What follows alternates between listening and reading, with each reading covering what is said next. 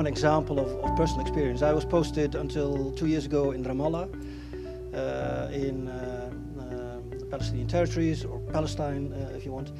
Uh, and there you, you saw you know, the complexities of this political conflict, which even within the, within the EU, you know, the EU doesn't have a, a very clear uh, common uh, policy on, on solving this conflict.